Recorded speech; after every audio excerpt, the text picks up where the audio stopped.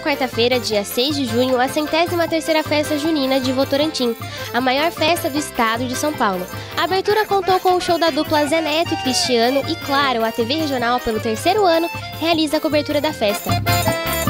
O stand está bem movimentado, com muitas atrações e prêmios.